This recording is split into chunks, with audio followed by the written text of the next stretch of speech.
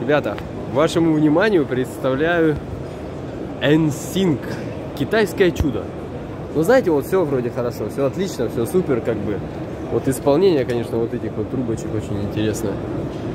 Очень интересно. Видите, на хомуты, видимо, дядя Ваня делал. Но, самая главная фишка, самая главная фишка, это когда вы заходите вот в этот чудо-аппарат.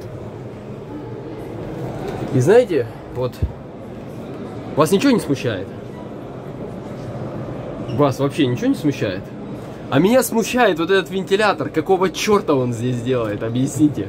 То есть вы такие, э, все отлично, все суперский трактор и типа кондиционер-то не вечный, типа. Вот тебе вентилятор. Я просто, если честно, в шоке. Еще, конечно, вот это удивляет. Очень классный аппарат, интересный. Китайцы молодцы, китайцы рулят. Еще даже есть панорама. Просто кайф. Посмотрите.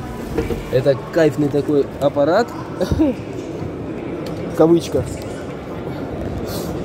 Сейчас мы посмотрим, переместимся назад, чтобы тоже посмотреть.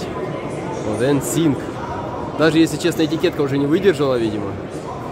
Но китайцы молодцы. Двигаются в направлении очень жестко. Оцените и расскажите, как вам этот аппаратик.